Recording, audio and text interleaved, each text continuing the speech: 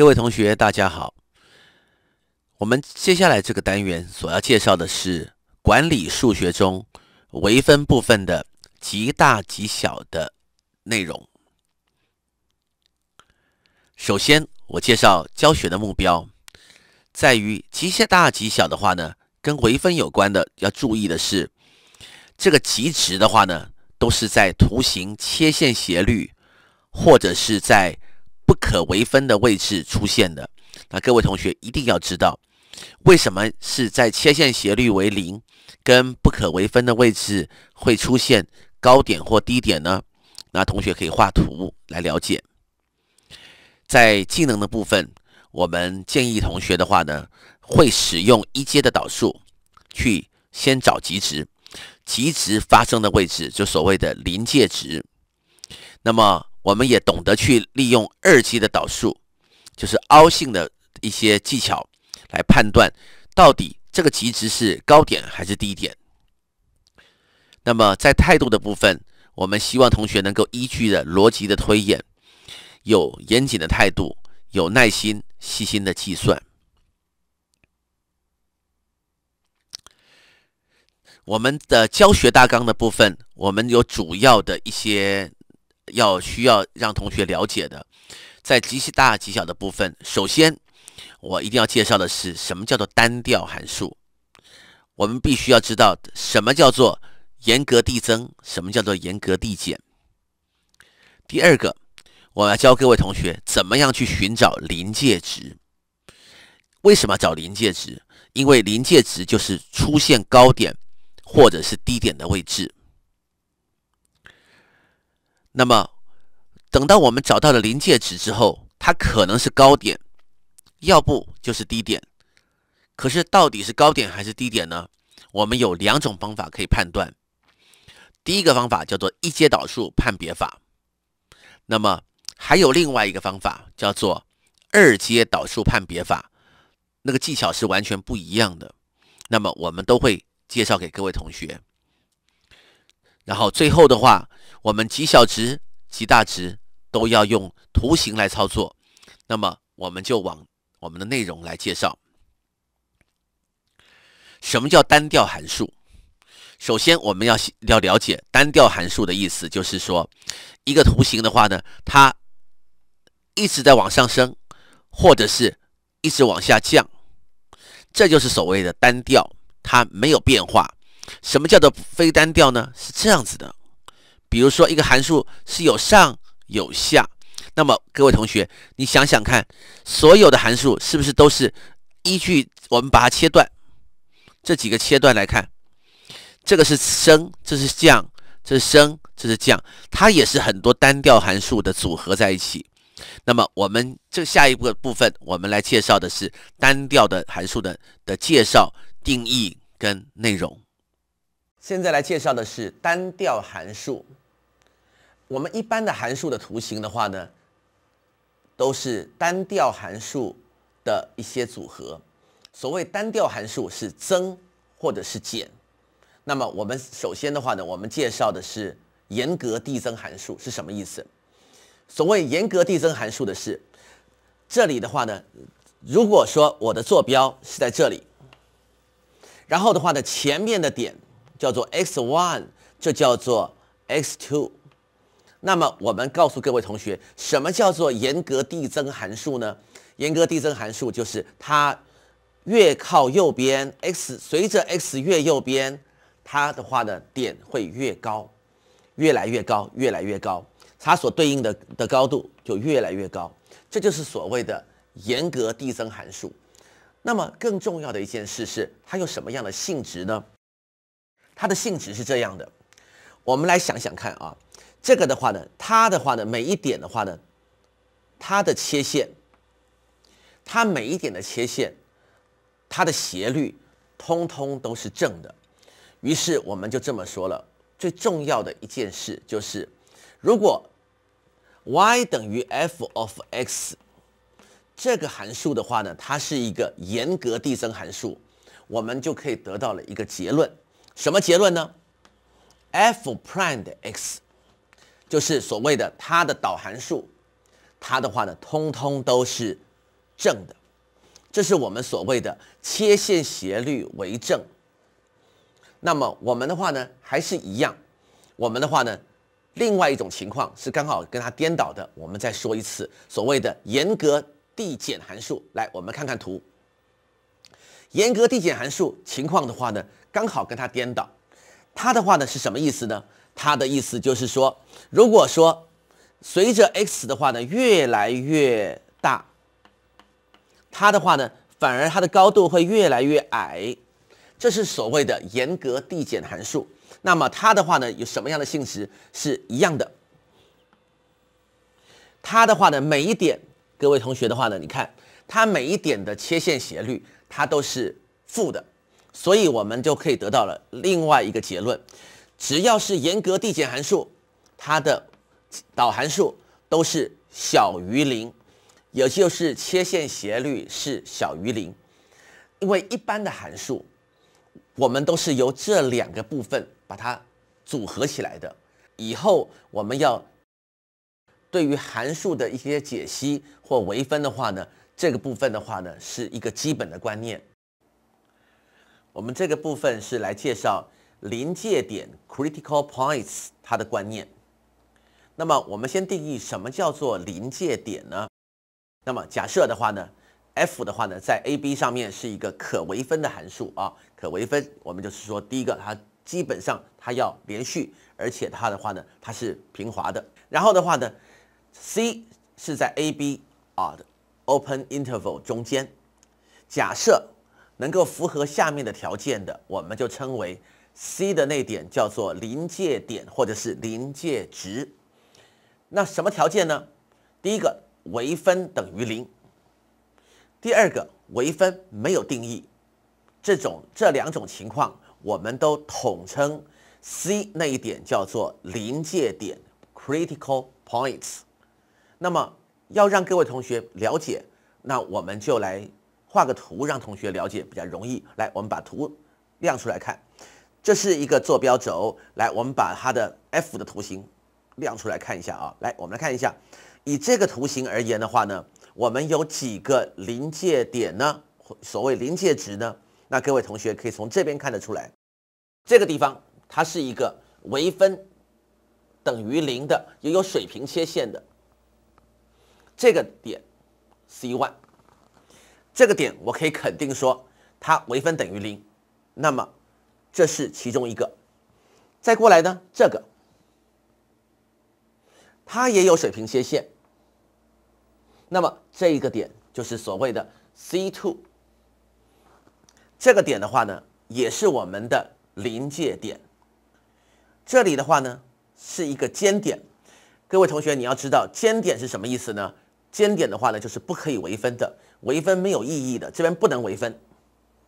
那么这个点，我们对上去，这是 C three。我们从这个图上面来看的话呢，我们可以看得出来。我们有三个临界点，也就是所谓的三个这个值的话呢，我们称为临界值。我们这个图的话呢，就能够来解释临界点发生的状况了。我们在这里的话呢，举一个例题，让各位同学看一下什么是临界点哈，那怎么算？那么现在有一个函数的话呢，f of x 的话呢，它是一个分式的函数。那么我们要怎么样去找临界点呢？那我们的话呢，第一步就是说，它因为临界点是跟微分有关系，所以我们就来微分。来，我们来看一下啊，微分怎么微呢？首先的话呢，我们要对它微分。那各位同学的话呢，你们要复习一下，微分的话呢，如果说是分式是怎么微分呢？是底下先平方，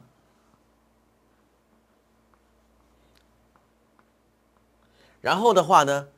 我们是轮流微分，上面微分，下面照抄。上面微分是二 x，然后底下照抄的是 x 减一，中间是一个减号，然后的话呢，上面的话呢就照抄了，轮到上面照抄，底下微分，底下微分 x 减一的微分是一，我们这边的话呢是乘上一，我们就不要写好了。我们继续计算下去，好，我们看看下面，这边是 x 减一的平方，仍然是保持着。这边是二 x 的二次方，这个边是乘乘开来，减掉二 x，再减掉后面的 x 的二次方。好，我们现在看 x 二次方的话呢，我们可以对消了，这边没有，这边就少了一个二。于是我们这边的话呢，经过整理一下，我们的话呢可以变什么呢？下面是 x 减一的二次方，这边是 x 平方。减掉二 x，再过来的话呢，我们上面可以将 x 的话呢提到前面去，x 提出来，x 减二，底下是 x 减一的二次方。好，现在的话呢，我们就看这个算式了，这个算式。这是这是我们的话呢导函数，也就是所谓的 f prime x，会让它变零的数字是多少呢？x 等于零，其中一个会让它变零的，还有一个呢？x 减二等于零，那就是 x 等于二喽。还有没有呢？还有，分母为零的话呢，代表的是微分是没有意义、没有定义的，它会让它变成。无限大，或者是我们所谓的它是无意义的，所以第三个我们也要纳进去。于是我们找了三个值，这三个值的话呢，就是发生临界点的值。光是这样计算，各位同学的话呢，可能不容易了解。我们就把这个函数的图形来，我们画给各位同学看。来，我们把图形画出来。这是一个两片啊，两片。那各位同学的话呢，我们把它的那个相对的点把它标出来，中间的这个地方的话呢，是一个铅值的渐近线，铅值渐近线。这个地方的话呢，这个点，这边是 x 坐标啊。那么我们告诉各位同学，这个坐标的话呢，这边是 x 等于一，在一的时候会发生的是什么呢？它的话呢是无意义的，就是所谓的会让它分母为零。再过来的话呢，还有一个是这里，这个点的话呢是有水平切线，那么它这个地方的话呢是 x 等于零，还有一个在这边，这边也有水平切线。各位同学的话呢，看到这边，这边的话呢是 x 等于二，那我们注意到了什么呢？这个地方啊。这是临界值啊，它们的话呢，会造成的是什么状况呢？它是我们可能发生相对极大或相对极小的可疑的发生的位置。那么对于我们的极大跟极小的话呢，我们的话呢，找临界点是非常重要的。这个的话呢，是我们找临界点的一个很好的一个例子。我现在来介绍的是一阶导数判别法。什么是一阶导数判别法呢？我们来寻找的话呢，高点、低点相对极大、相对极小的位置。我们来看一看，我们的话呢，这个图假设一个函数的图形的话呢，是像这样子的。好，那我们来看一下，这个点、这个点、这个点、这个点，它都是拥有水平切线的。水平切线的话呢，也就是所谓的它的导函数微分会等于零。那这样子这种情况呢，它也是我们所谓的临界值。那临界值的话呢，这个地方的话呢，它是微分不存在的位置，都是。那它也可能是一个相对的低点或高点。所以的话呢，我们的做法的话呢，我先把它的做法先列出来。首先第一步，我们先找出所有的临界值。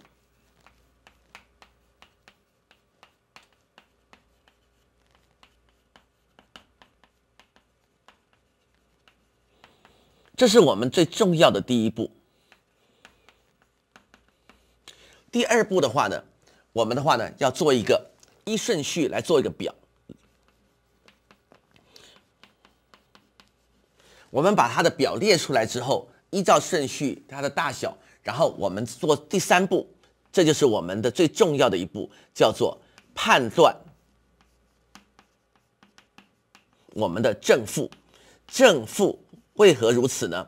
因为正的微分为正，它的它就是一个增函数；微分为负，它就是个减函数。先上再下，代表是一个高点。我们的话呢，要了解它，就必须要去做一个例子，让各位同学的话呢比较容易认识。来，我们看看例子。例子是这样子的，题目的话呢是说这个函数在哪里递增，哪里递减呢？在哪里会出现高点，在哪里会出现低点呢？那我们的话呢，首先第一步，我们要找出所有的临界值，那当然就是直接微分，求它的导函数。那各位同学看，微分的话呢，x 三次方的微分是三 x 的二次方减掉六 x，再来呢减九，这就是所谓的斜率。那我们的话呢，继续算下去，这都是三的倍数，我们把三提到前面去，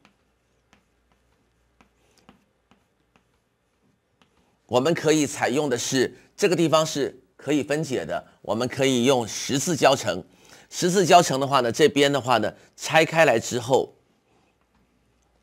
来，我们来看一下这个，顺便的话呢，练习一下十字交乘。这边的话呢，要一个负三，一个正一，这样子相乘是负三，相加是负二，没错了，负三正一。所以的话呢，各位同学知道我们的临界值，临界值的话呢是多少呢？x 等于。会让这个微分会等于零的数字就是三，还有呢，负一。我们算出了临界值之后，我们的话呢，第二步我们要把这个临界值的部分要写在这个表上面。我们的话呢，看看这个表，这个表的话呢，一共有三层。我们的话呢，这边是 x，这边是微分，这边是。F 的本身的状况，来，我们来看一看。现在的话呢是两个两个临界值，一个叫做三，一个叫做负一。那么同学一定要非常的小心的部分，就是说小的一定要写在左边，大的要写在右边。那我们这边的话，负一是小的，三是比较大。我们的话呢写下去之后。好，我们现在看看这两个数字，两个临界值，将所有的数字切成了三块。那么，我们从最简单的这个区块这边来判断好了。当 x 比三还大的时候，请问它的微分，我们要看哪一个算式呢？我们要看这个算式，这样就可以很简单了。我们来看微分，用这个看法就会比较容易。就是说，当 x 是三以上的话呢，比三还大，我们可以教各位同学，你比如说你带个四进去，你发现四减三，四加一，哦，两个都是正的，所以这边的话呢是正，无论怎么说它都是正的。那么负一到三之间，我们的话呢，如果你们不会判断，我们就随便带一个负一到三之间的数字，比如说零，零带进去，这是负的。这个零带进去是正的，一负一正，那就是负，正负得负。负一以下，我们可以带负一、负二，我们带个负三好了。负三减三，它还是负六。负三加一，它也是负的，负负得正。好，现在的话呢，微分为正，各位同学的话呢，我们在前面所介绍的微分为正的话是趋势向上。它是一个增函数，我们这边就可以把它很明显的告诉各位同学，它是一个增的，这是负的，那就是一个减函数。三以上，它是一个增函数，它的趋势是增减增。那我们来看看这个题目怎么解题。他问在哪里递增，那我们的写法，我们就告诉各位同学，写法很容易了，非常的一目了然。我们的话呢，增的部分有两个区块，那两个区块的话，我们答案要怎么写呢？负一以下我们通通要，所以我们写的时候是负无限大到哪里？到负一。还有一块哦，还有一块是三，三以上，那我们的话呢，写法的话呢，就用用用一个符号叫做连级，叫做 union u 一个 u 的代表啊。那这边的话呢，写的是三到无限大。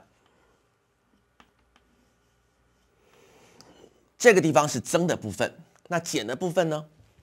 减函数的部分的话呢，在这边递减是在哪里递减？只有在这一段递减，我们就写负一到三，这样子的话呢，我们就克服了第一个问题了。第二个问题那就更简单了，在哪里出现极大值呢？出现极大值，各位同学看一下，我们来用趋势的判断。这个相当于是爬山，上山又下山，这个点当然是一个高点，相对高点在负一，先下再上，那这个地方一定是一个极小值，所谓的相对的低点出现的位置。那么以上就是我们所谓的一阶导数判别法。我们现在来介绍二阶导数判别法。二阶导数一样可以帮我们来判别一个临界值到底是高点还是低点。来，我们来看一看这个图形。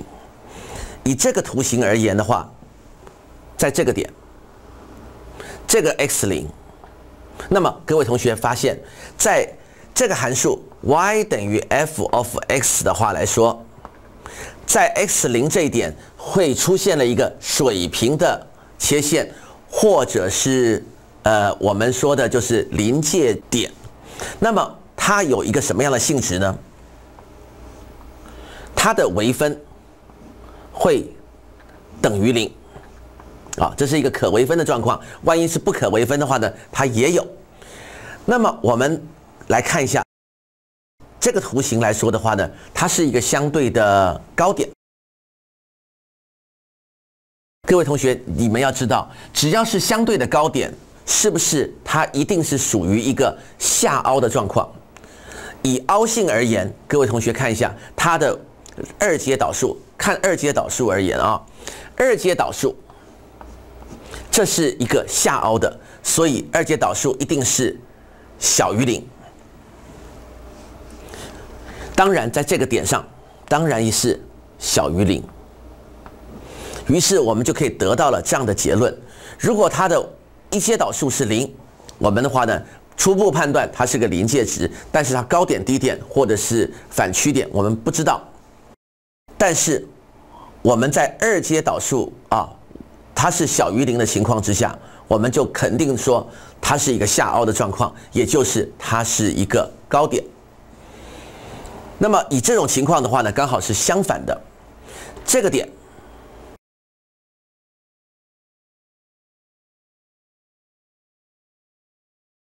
那么，g prime x 是零，它是等于零，它有水平的切线，它是一个上凹的状况。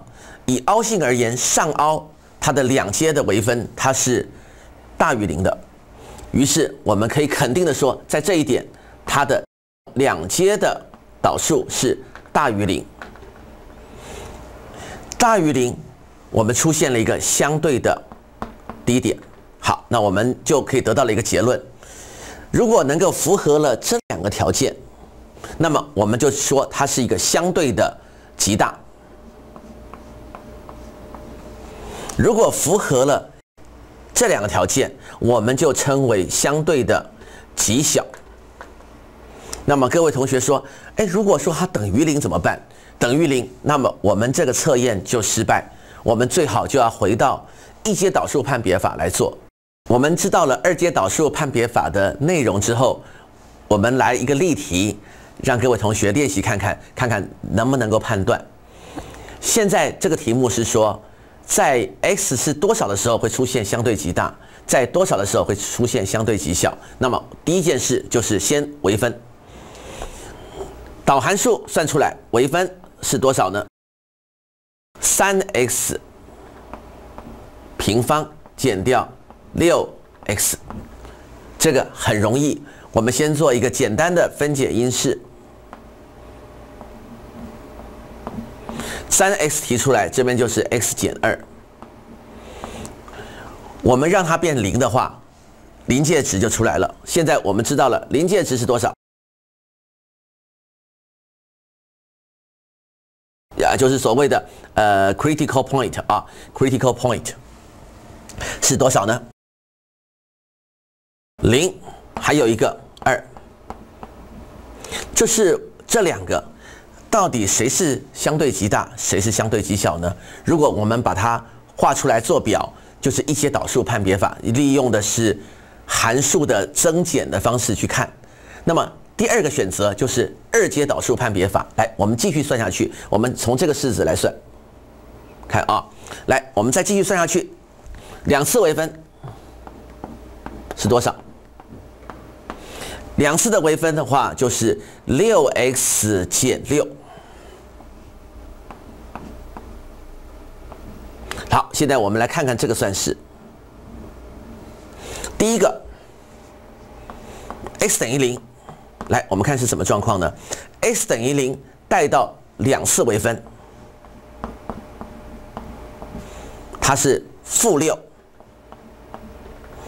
负六就是小于零，小于零的话呢，就是下凹，下凹当然出现的是一个高点。第二，x 等于二，它是怎样？x 等于二，两次微分。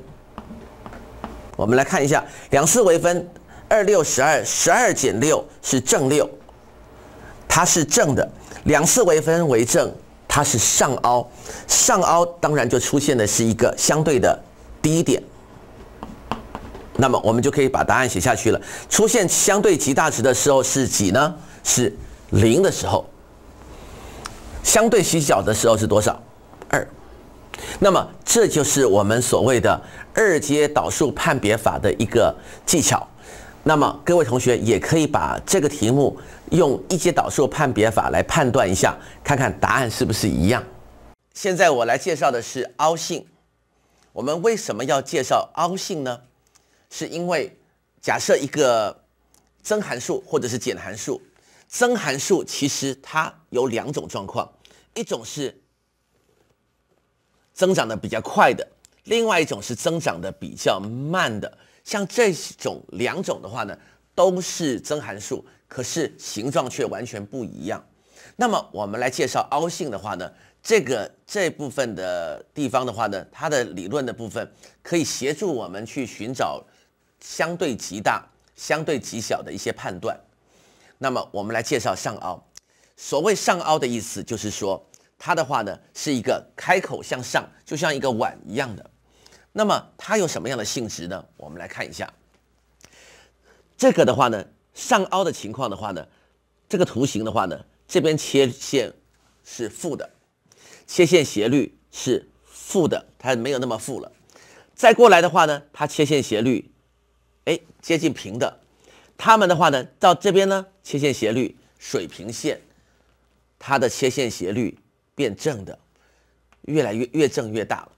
所以这样子的上凹的状况，我们的切线斜率是什么状况呢？原来是负的，原来是负的，现在就变成正的，由负转正，由负，然后转到哪里呢？转到正。所以的话呢，它由负转到正，那么切线斜率，各位同学来，我们来判断一下，它的切线斜率由负转正，由由由亏转到盈，那么我们的话呢，就知道它是一个增函数还是减函数？它是一个增函数，它是一个增函数。那么各位同学，你们知道了，如果说。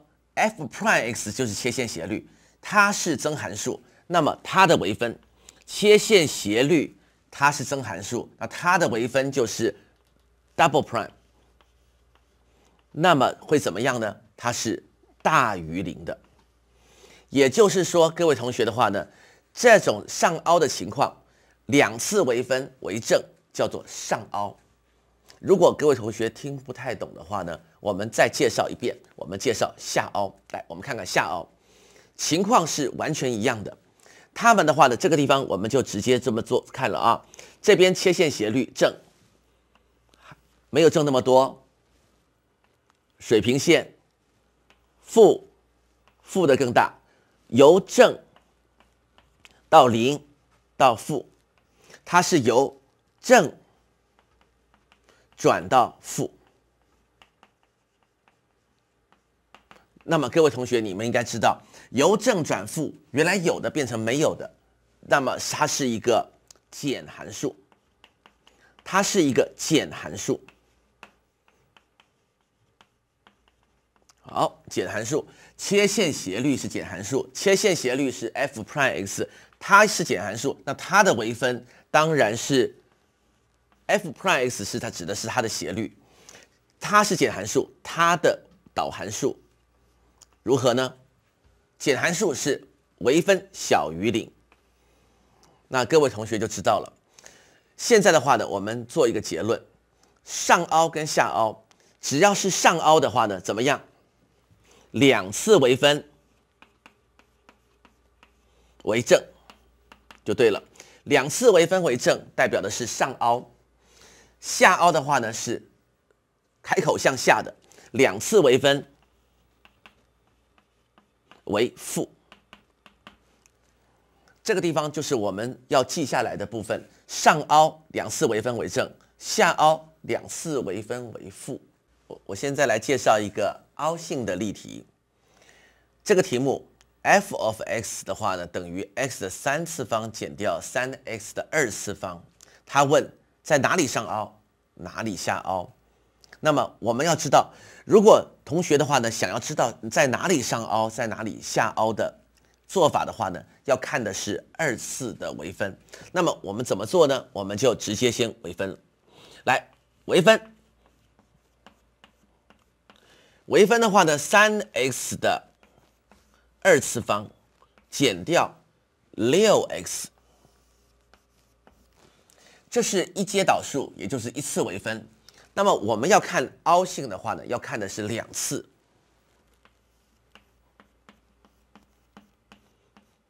我们发现的话呢，微分再微分一次，会变成了六 x 减六。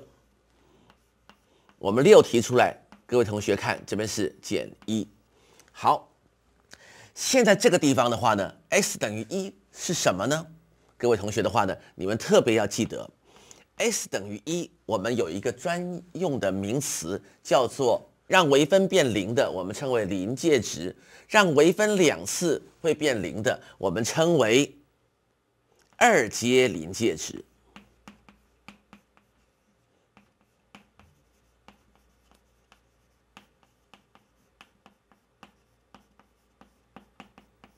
这是二阶临界值，那么二阶临界值是可能会发生反曲点的位置。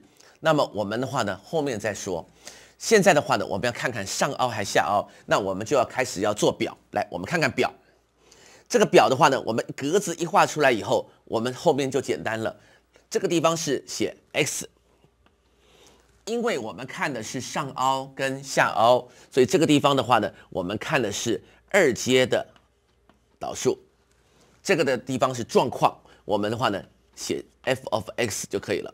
好，现在来看一下这个地方的话呢，会让它变零的数字，唯一的一个，唯一的一个二阶临界值是多少呢？是一。一好，我们现在来看一的上面，也就是比一还大，二次微分会怎么样呢？如果 x 比一还大，那当然就会变成正的。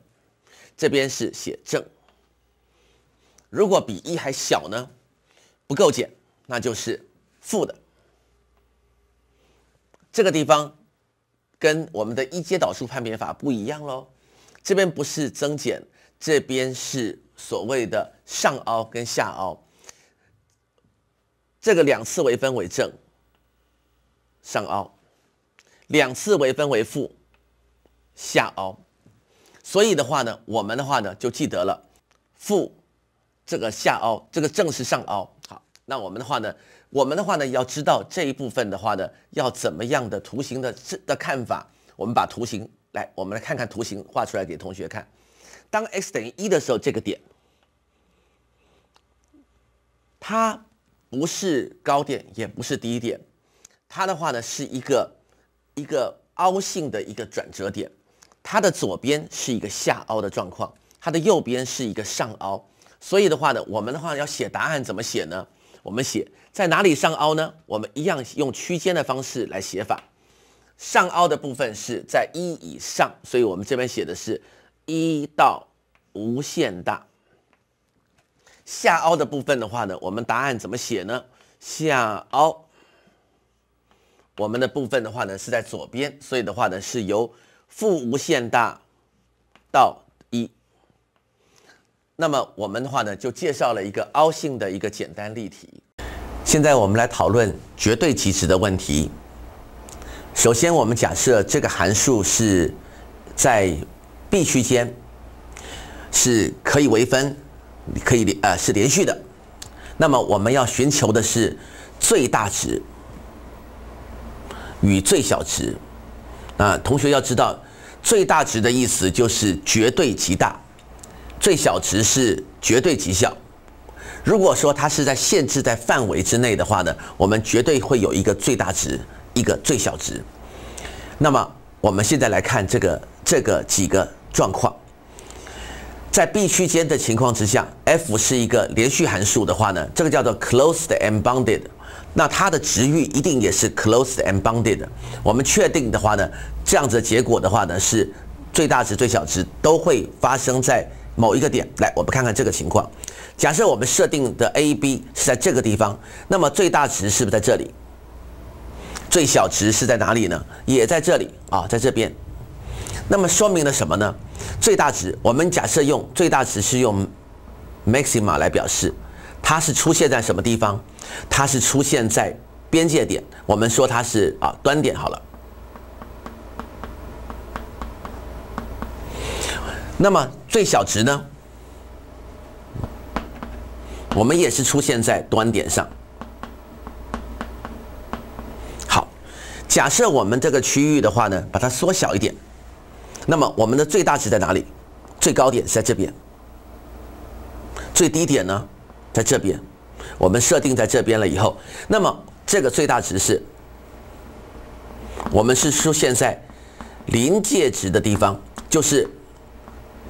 在切线斜率等于零的地这个地方，最小值呢也是出现在临界值发生的位置。再来看下面的状况，这个情况是最大值出现在这里，最小值呢出现在这个地方。我们的话呢点出来。好，那这个地方的话呢，我们确认的是最大值是出现在。端点上，最小值是在临界临界值的地方。好，再来看这个地方呢，这个地方是最大值是在这里，最小值是在这个地方。好，那我们的话呢，我们就知道了，最大值是出现在。它的临界值的上面，最小值是出现在端点上面。那么我举了这四个例子的说明，在说明什么呢？我们只要知道求最大值跟最小值，它的解答，最大值跟最小值无论如何不是在端点，就是在。发生在临界值的地方，那么对于我们解题目就会很有帮助。根据刚才的观念，我们要求最大值跟最小值，我们在教各位同学的话呢，一个四个步骤的方式解题就绝对没有问题。来，我们来看看步骤一。因为最大值跟最小值不是在 A 点发生，就是在 B 点发生，要不就是临界值，所以我们先第一步先找出所有的临界值。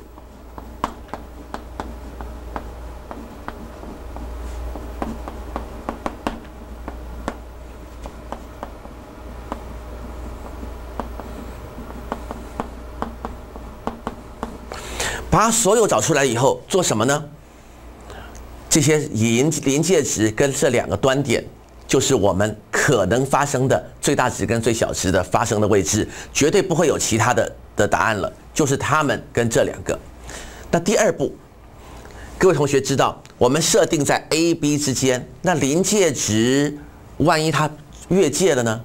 越界的话，我们就不能用，因为它不在我们的范围之内，我们的话呢就不能够考虑它。所以的话呢，我们要做第二步，过滤，就是删除不在范围的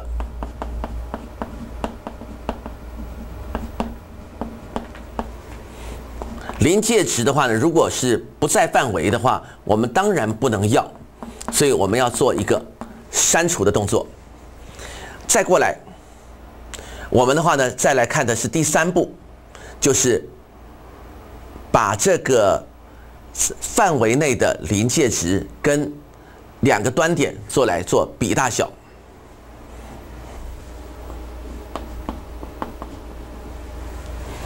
将端点两个端点。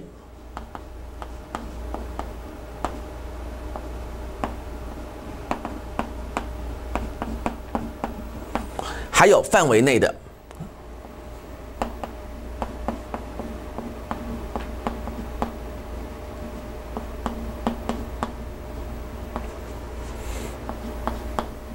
这些的话呢，都是很可疑，会让我们出现最大值、最小值的位置。两个端点及范围内的临界值的话呢，我们把它带入原来的 f。做什么呢？比大小，最大就是最大，最小就是最小。我们依据这样的的做法的话呢，我们就可以非常的稳定的去解出了这样的题目。现在我来实际操作一个例题，那么我们回忆一下，这个是最大值跟最小值在这一个呃 B 区间啊。B 区间的之内，一到三之间。那么第一步，我们要先找出临界值，哎，临界值。第一步，我们先微分，微分了以后变成三 x 的二次方减掉六 x 加一，没有了。现在的话呢，找出临界值，我们用分解因式，这个很简单。这个分解因式的话，提出三 x 还有。这边是变成了 x 减二，所以我们的临界值可以知道了是什么呢？临界值是多少？Critical point 是 x 等于零，还有一个 x 等于二。好，现在的话呢，临界值的话呢，我们现在有几个可疑的呢？就这种题目，就相当于是在做一些呃办案一样，我们要找出可疑的最大值跟最小值，唯一的嫌疑是在哪几个？零、二、一、三。现在我们把一些不在场的全部都拿掉，零跟二呢？零有没有在一三之内呢？没有。所以这个地方我们不能考虑，我们要把 x 等于零拿掉，这是第二步。二是不是是它的话呢有可疑，所以的话呢我们就把它放进去。那么第三步我们要把它的数字一个一个去比，来比对一下。现在一二三，我们现在来算一下，一是多少？二是多少？还有三，我们也要考虑。因为我们的最大值跟最小值不是在临界值上，就是在端点上。现在把一带进去，那各位同学的话呢，有一个地方要很注意的是，带进去不要带这个，不要带 f prime，要带什么呢？要带原始的啊。带带进去，如果同学带这边，就当然就带错了。这边是一减掉三加一，所以是负一。二带进去，八减掉十二加一，这边是负三。三带进去，二十七减掉二十七加一，所以等于。现在他要问的是最大值、最小值。那么我们来看一下，最大值跟最小值就一定在这个里面。那么最大值在哪里？这里最大，一就是最大值。最小值在哪里呢？